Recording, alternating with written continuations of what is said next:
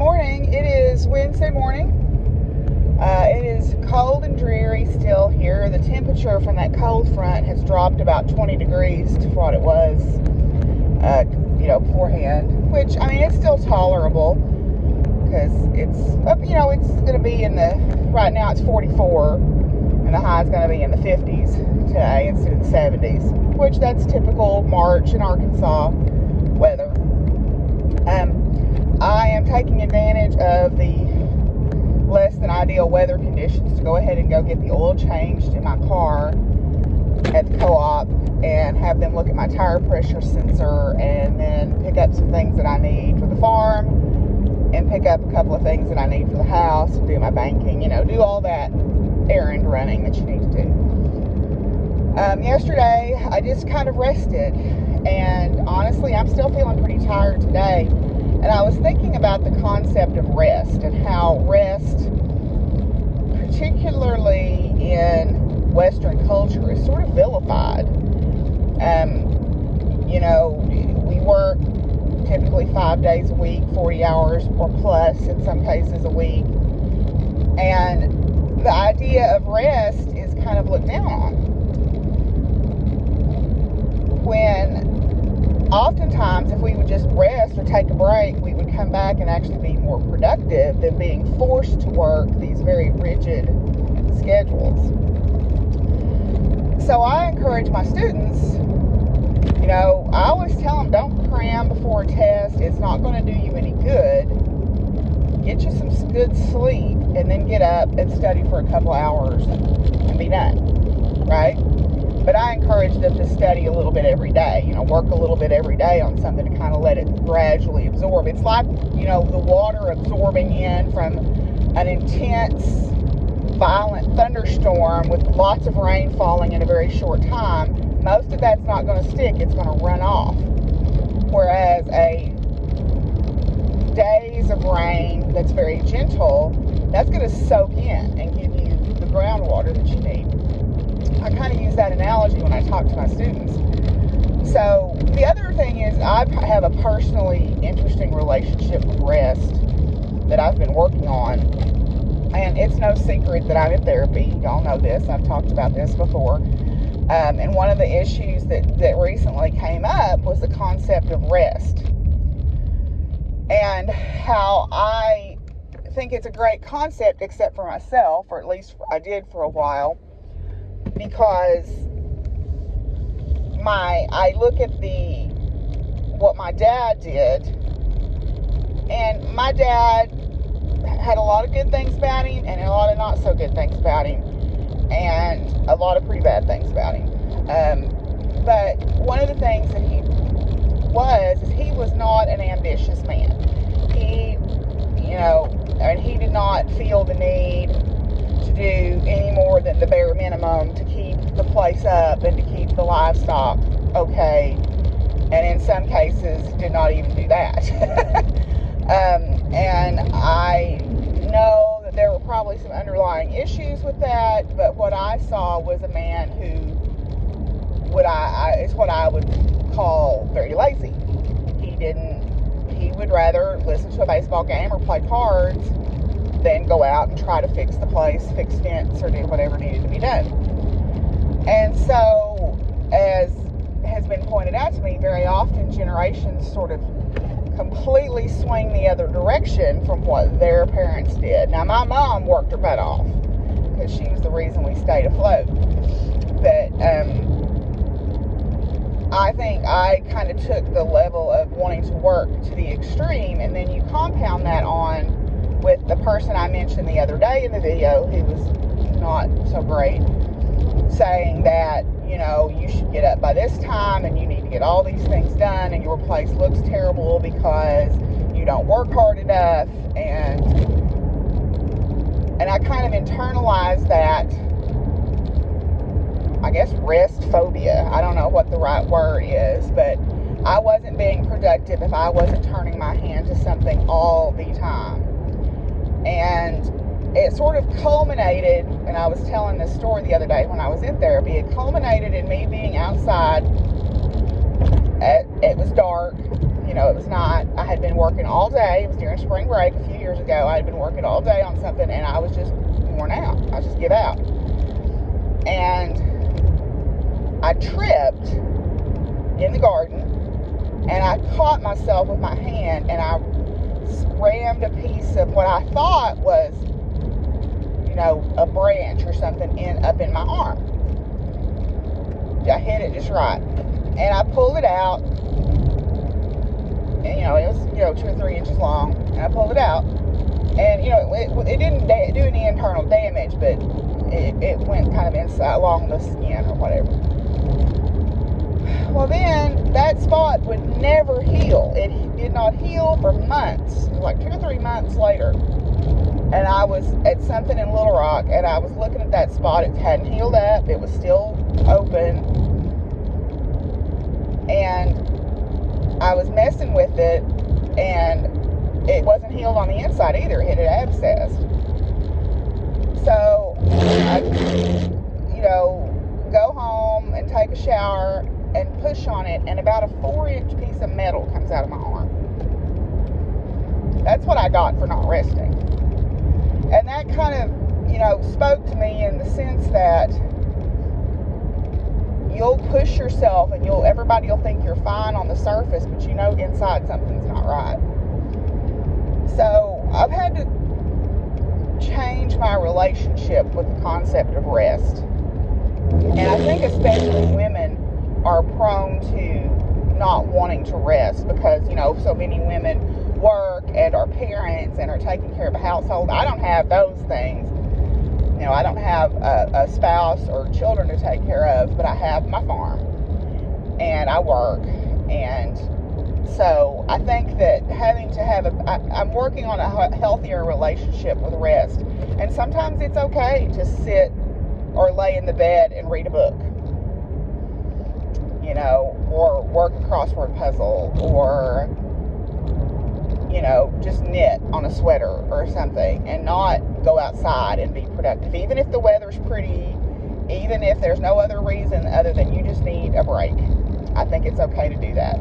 So I think we need to explore our relationship with, with rest, especially here in the U.S. Um, and make it, rest is necessary Rest is necessary. We need a, we need a healthier relationship with rest here in the U.S.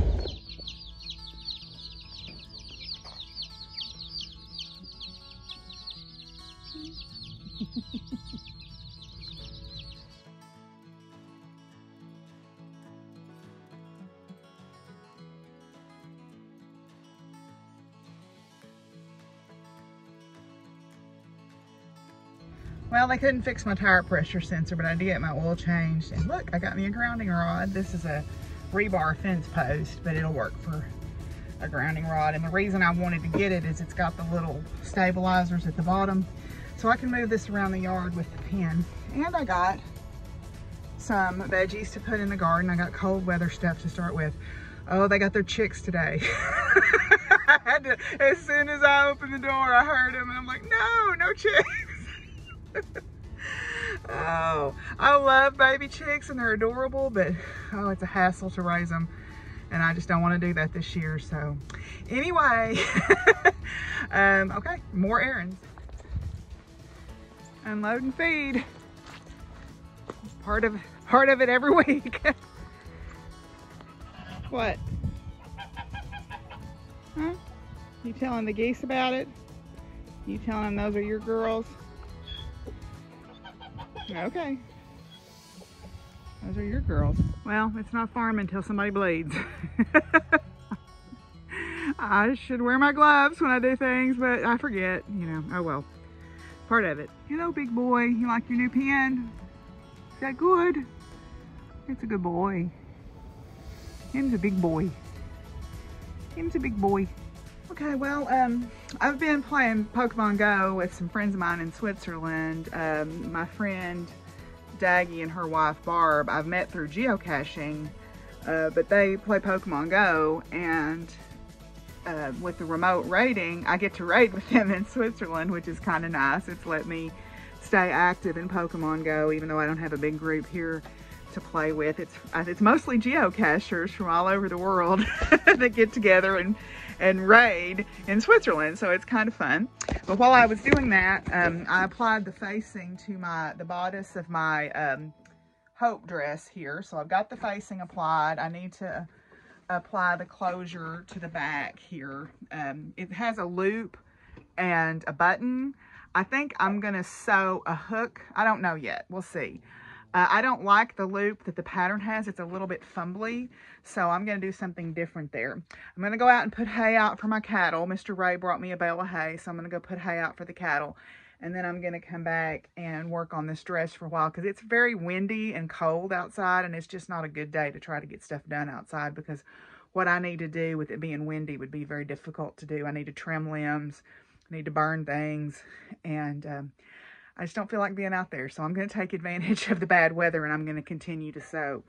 The other thing that I want to do is look for some yarn for the Naturalist Shawl by CJ Brady. Uh, it calls for a sport weight, so I'm going to get in my stash and see what I can find uh, that would meet that requirements. I want something natural looking, you know, something not too bright, more muted tones, I think, for that. So uh, I'm going to get in my yarn stash and see what I can find someday I'm going to hit the Powerball and I'm going to build me an equipment shed so that my stuff doesn't have to sit out in the weather.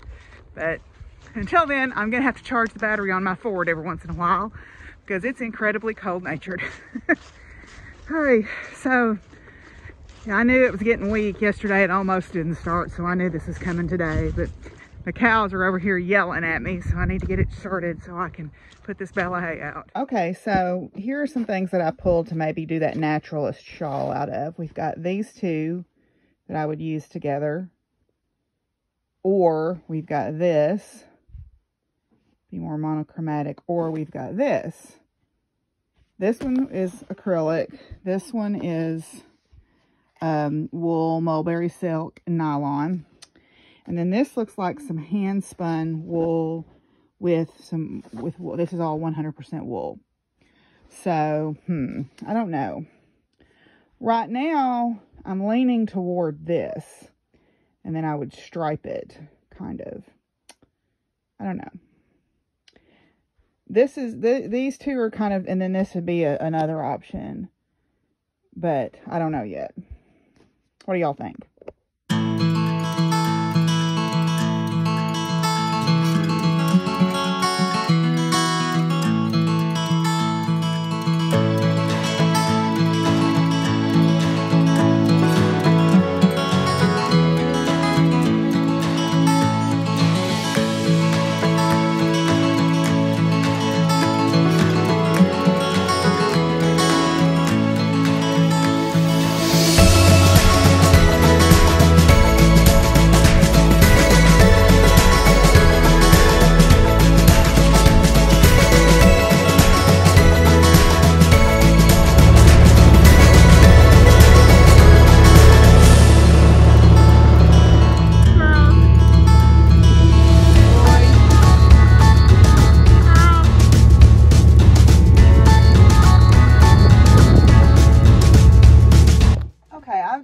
The next piece on We Believe that I'm going to do is Healthcare is a Right.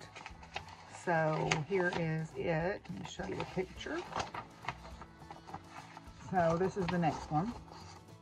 So I've been pulling out the floss for it and finishing the fabric.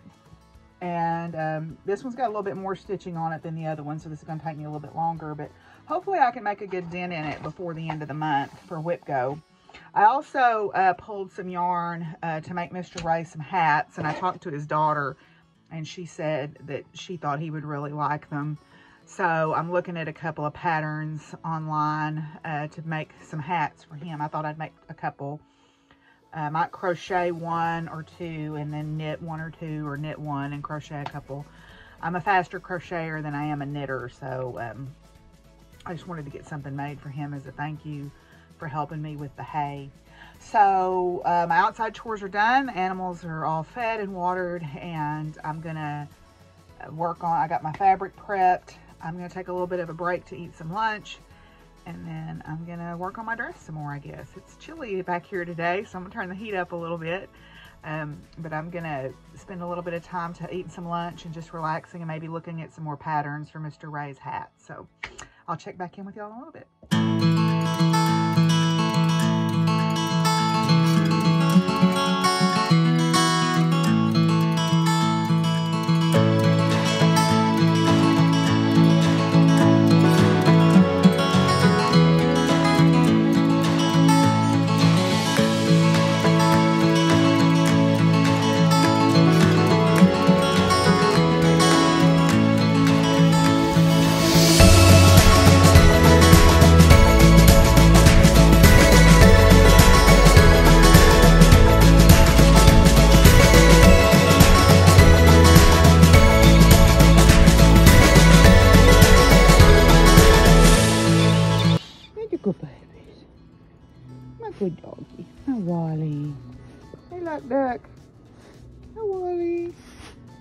Love, love.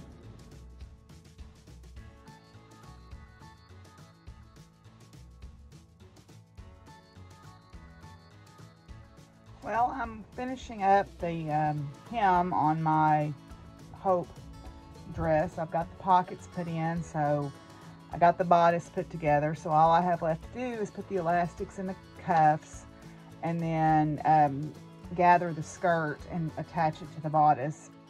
So I think that's where we'll end it for today, and uh, I will see you guys tomorrow. Thanks for watching. Bye.